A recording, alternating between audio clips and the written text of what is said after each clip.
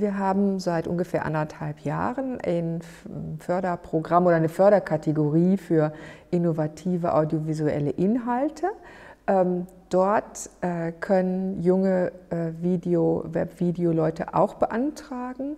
Wir haben es aber allermeistens äh, bisher gesehen in crossmedialer Formatentwicklung, also die mit ihrer Idee auf allen Plattformen ähm, aufscheinen. Aus dem Bereich haben wir eine ganze Reihe von Anträgen gehabt.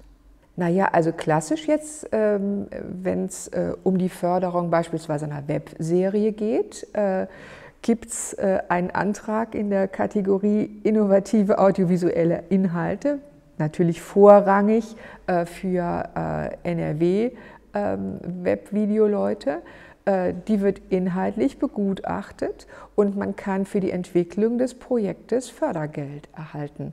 Das ist ganz einfach, muss man mal sagen. Und es ist im Grunde vom Fördervorgang einem äh, Film, der auf, aufs Kino, auf eine Kinoveröffentlichung äh, abzielt, sehr vergleichbar. Das Netz ist die zentrale Kommunikationsstruktur ähm, der Gegenwart und der Zukunft. Und genauso wie die Games ins Netz gegangen sind, wie die Musik ins Netz gegangen sind, wie das Fernsehen inzwischen ins Netz geht, wie wohl noch ein bisschen politisch behindert, äh, wird das selbstverständlich mit größeren Bandbreiten äh, so kommen. Nur Kinofilm ist eben sehr, sehr teures Gut ähm, und es muss für die Produzenten und alle, die daran beteiligt sind, gewährleistet sein, äh, dass man wirklich auch eine verlässliche Bezahlform hat. Sonst haben sie halt eine sehr schnelle Entwertung. Ähm, das heißt, wenn die ganze Urheberrechtsproblematik, Leistungsschutzrecht und so weiter, das muss ja alles noch ausdiskutiert werden. Ich weiß, es ist für viele lästig, die drauf gucken. Es ist aber natürlich für eine Filmproduktionsfirma essentiell, äh, dass hier äh, entsprechende Schranken aufgebaut werden. Sonst haben sie halt mit der Piraterie alles platt gemacht. Ähm, aber ich bin ganz sicher, dass der Weg unumkehrbar ist. Man muss nur Verabredungen finden, äh, dass hier ähm, sagen, verlässliche Einnahmen da sein können.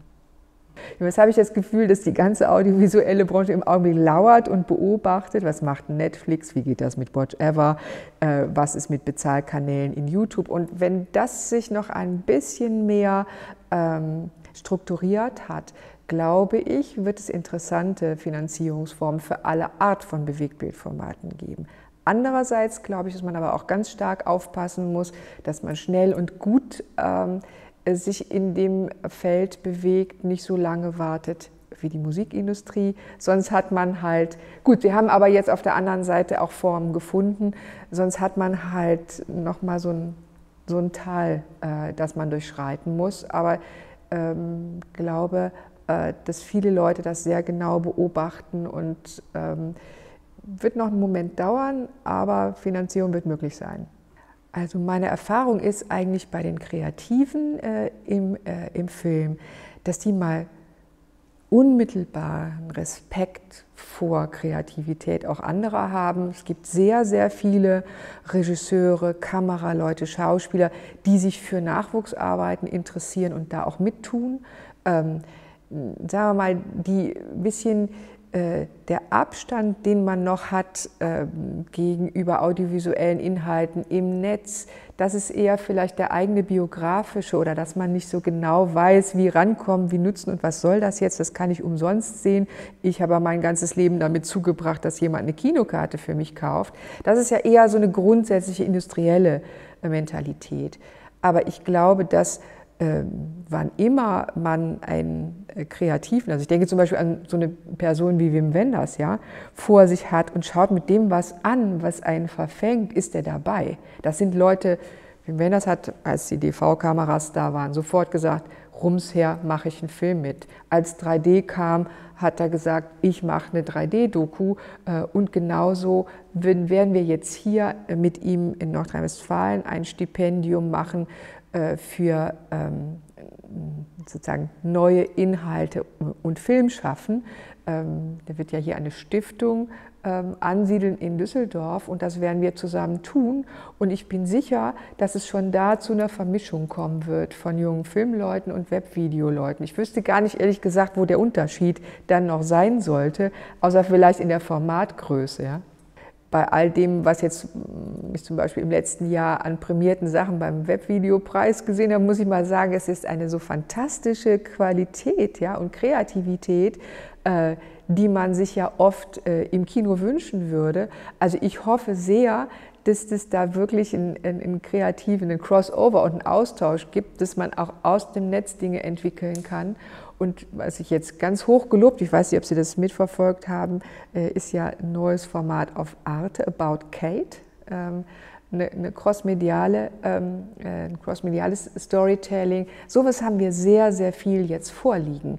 Wir haben äh, jetzt quasi schon als neues Genre sowas wie Webdo, eine Webdoku, die ihren Stoff, ihre Idee wirklich äh, bisschen Kino, Fernsehen, Internet, interaktive Anteile etc. aufbaut.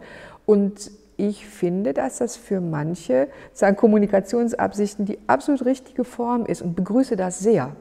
Wer immer mit einer guten Idee kommt, der Kombination, ist hier sehr willkommen.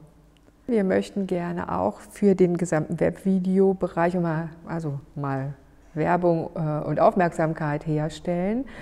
Ähm, das ist ja auch der Grund, warum wir uns entschieden haben. Ich war einmal im letzten Jahr beim Webvideopreis, wow, äh, wenn ihr einen Partner an eurer Seite braucht äh, und auch einen Förderer, wir sind da. Also wir möchten unbedingt mit tun. Ähm, das ist nur, sagen wir mal, das ist schwieriger zu so einer Szene als ein Haus, ich meine, wir sind auch nicht unendlich groß, Kontakt aufzunehmen, ähm, als jetzt zu einer irgendwie strukturierten Filmindustrie, weil das sind ja sehr viele Leute, die wirklich erstmal als Einzelkreative unterwegs sind aber wir haben uns auf den Weg gemacht, äh, das zu tun ähm, und äh, vor allen Dingen auch ähm, sagen, im Standortprofil das zu einem wesentlichen Faktor zu machen. Denn da kommt ja auch die junge Kreativität her, die wir vielleicht übermorgen im Fernsehen, im Film, äh, online oder wo immer sehen werden. Also wir werden unsere Aufmerksamkeit nicht nachlassen.